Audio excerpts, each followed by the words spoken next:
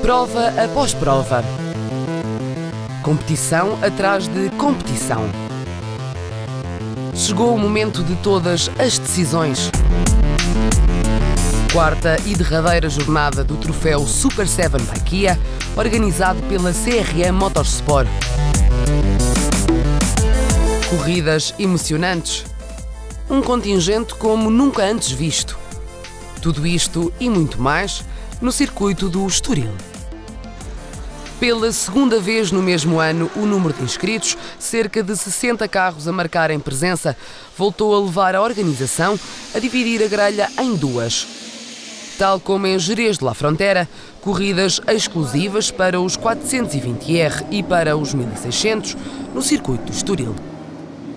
O Super 7 by Kia fecha o nono ano de existência com a maior adesão de sempre e com uma etapa em que a pontuação é a dobrar. Mais uma vez repartimos a grelha em dois uh, para dar acima de tudo mais qualidade aos pilotos e porque a quantidade também é suficiente para que se possam continuar a ter corridas com adrenalina de dentro para fora e de fora para dentro, como é habitual no Super 7 by Kia. Quanto aos participantes, os habituais não podiam faltar e as formações britânicas, que, como já é hábito, também não falharam, a festa de encerramento. A luta pelo título, essa continuava ao rubro, com Gonçalo Inácio a chegar ao traçado com uma vantagem de 5 pontos sobre o principal adversário, o Garaújo, na classificação por equipas. É um fim de semana em grande. Primeiro que tudo porque estou a correr em casa e vou ter muitos patrocinadores a ver, o que é importante. Uh, depois é tentar ser campeão.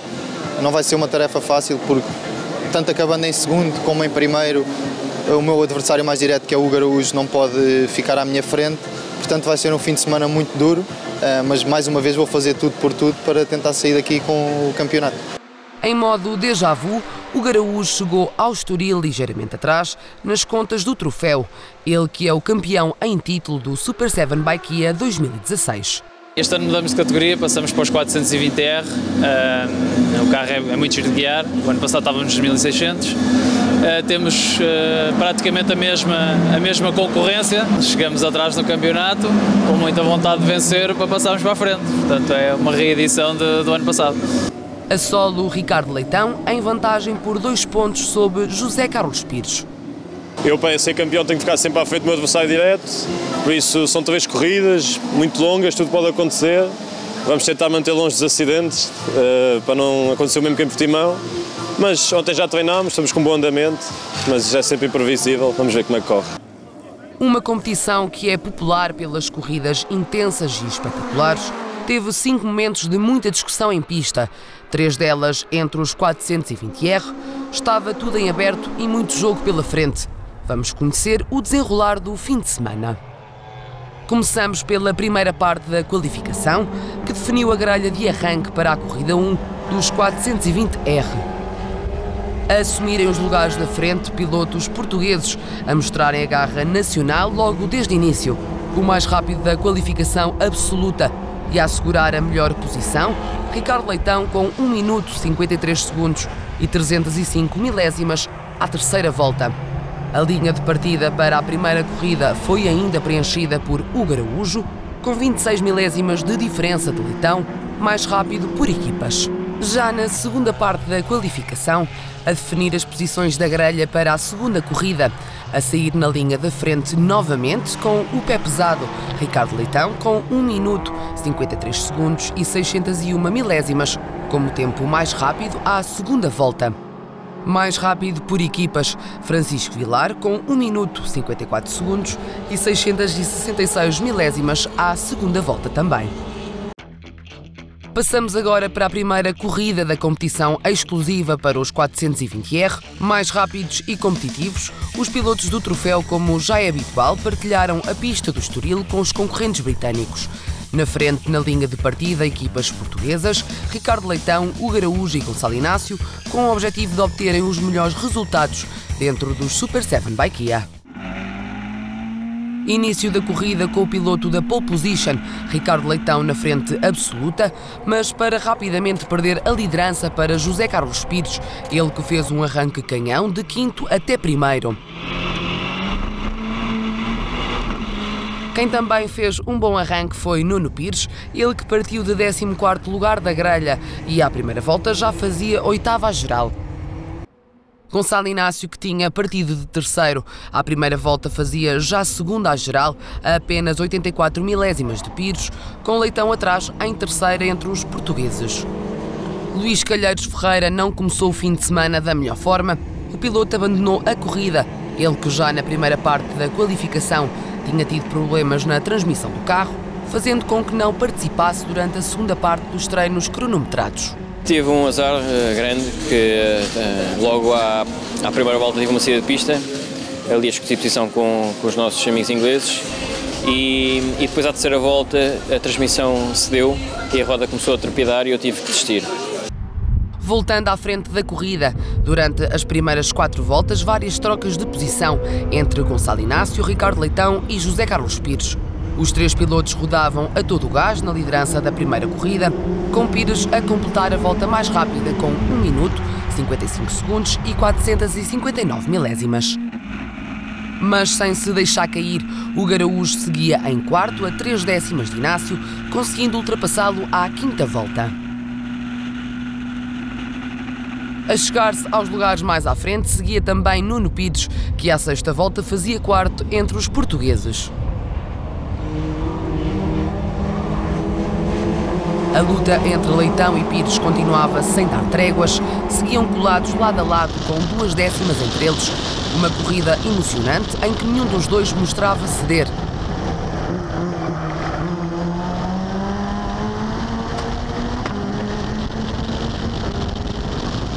Mas à sétima volta, novas ameaças na frente, com Chris Wright e Hugo Araújo a juntarem-se ao pelotão, Várias tentativas de ultrapassagem por parte dos quatro pilotos. Lutas intensas, lutas justas. A paragem nas boxes deu outra dinâmica à corrida.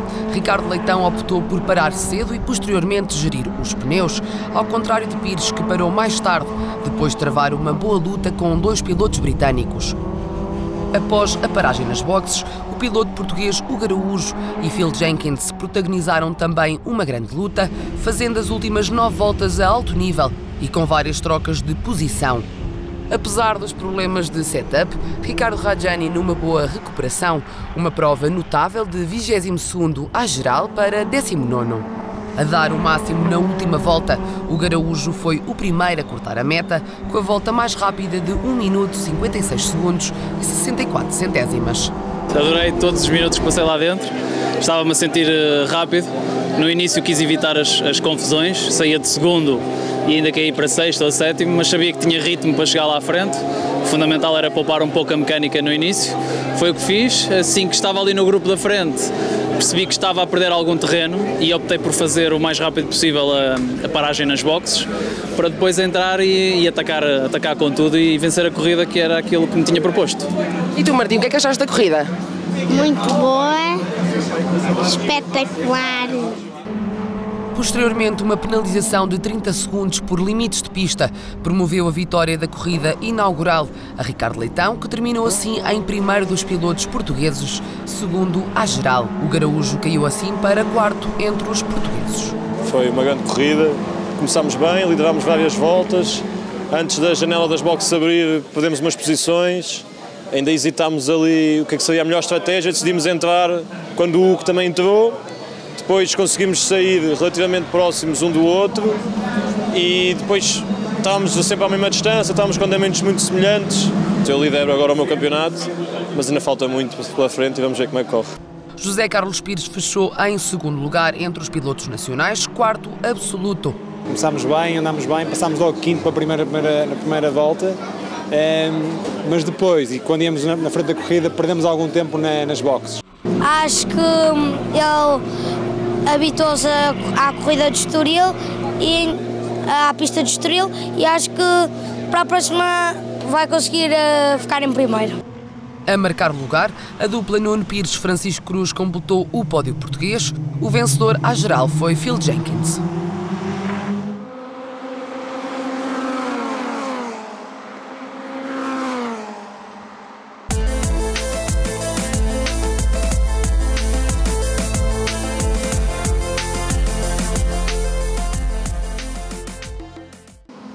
Nona edição, competição que não falta dentro do troféu Super 7 by Kia. Ganhar é a missão dos pilotos, facilitada pela Toyo Tires, através dos pneus que permitem maior rapidez em pista.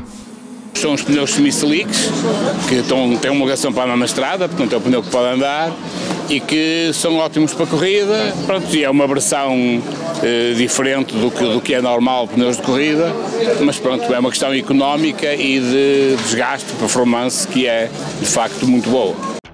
Segundo dia de prova, segunda corrida, com algumas trocas de pilotos ao volante dos 420R. A sair na pole position, Ricardo Leitão, depois dos pilotos portugueses José Carlos Pires, por equipas Francisco Vilar.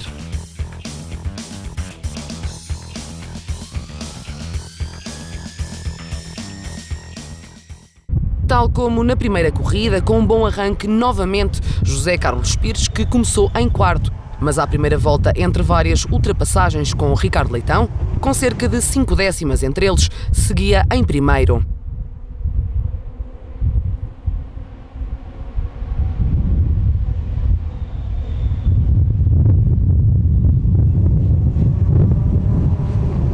Início marcado por bandeiras amarelas devido ao acidente de Francisco Cruz, uma inscrição de última hora que travou tarde e acabou mesmo por abandonar a corrida.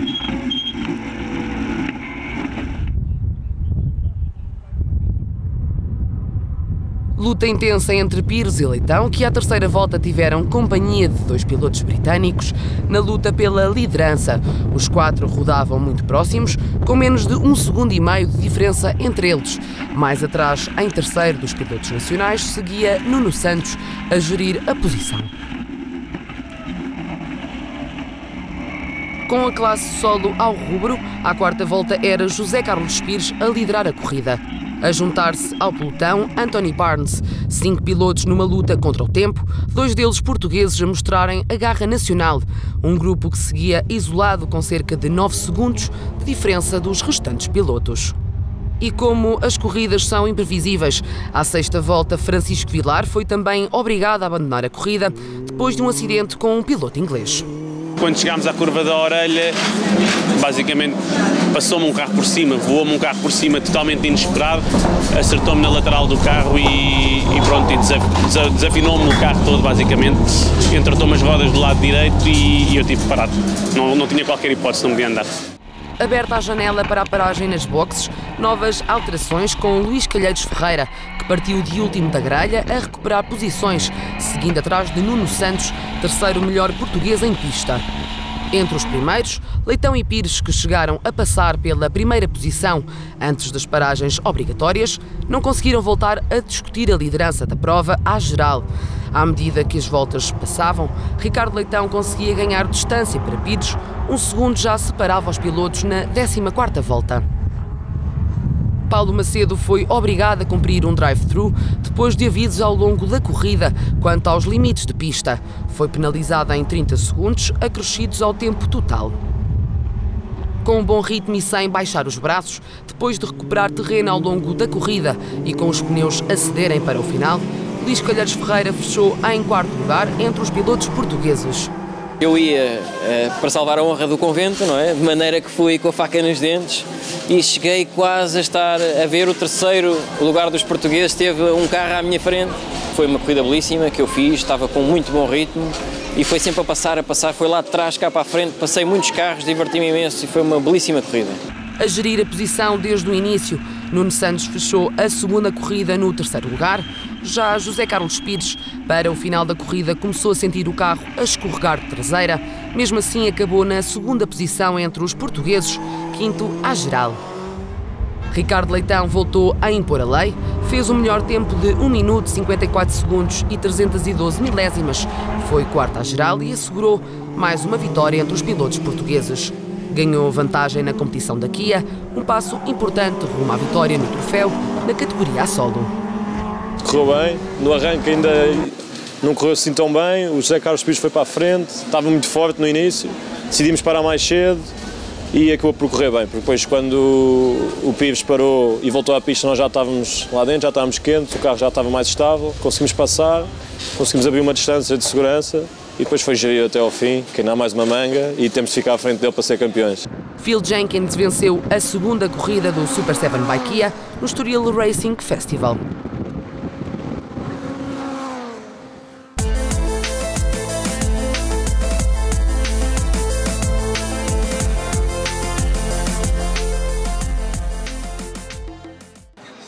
Corridas cada vez mais animadas, ainda havia muito por decidir. Entre a segunda e a derradeira corrida final, predominava um bom ambiente entre pilotos e entre equipas. O espírito Club Racing imperou ao longo das várias temporadas, dentro e fora de pista. Era agora o momento do tudo ou nada. Foi já durante a tarde o último teste para as equipas dos 420R, a sair na frente da grelha e a amealhar as três pole positions portuguesas, Ricardo Leitão, seguido por José Carlos Pires e Hugo Araújo.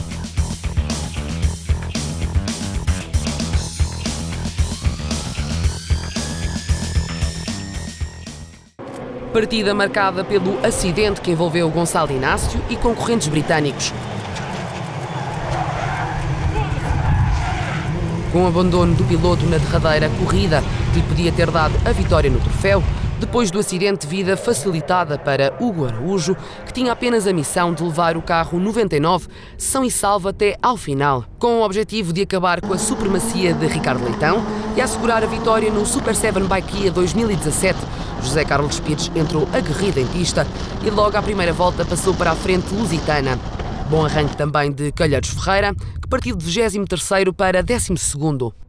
Como já é hábito, lutas entre Pires e Leitão, que à terceira volta acabou por cair uma posição. Atrás seguia o Garaújo, que à sexta volta pressionava Ricardo Leitão. Quem vinha a recuperar posições era também Nuno Pires, que à décima volta fazia quarta entre os portugueses.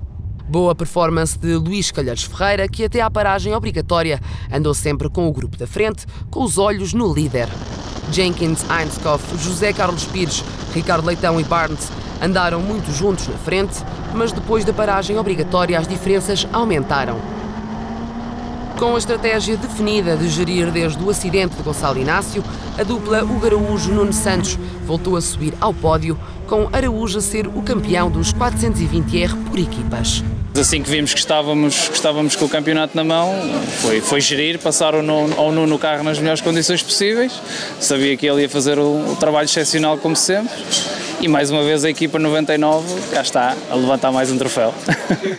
José Carlos Pires lançou todas as cartas e foi bem sucedido.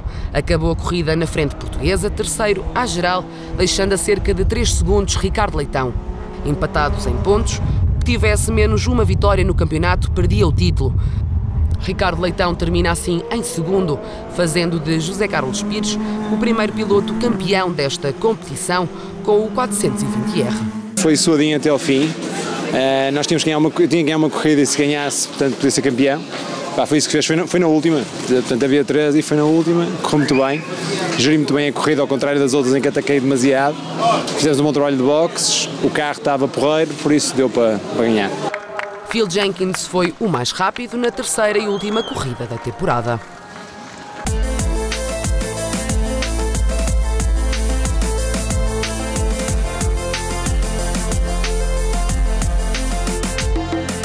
No ano em que estreou uma nova categoria, a 420R, bateu os recordes de participantes. O Super 7 Bike fechou de forma espetacular a nona temporada consecutiva de competição. Desvendados os segredos e as emoções da categoria 420R, conheça o desfecho da categoria 1600 no próximo programa, com as derradeiras corridas no circuito do Estoril. Até lá!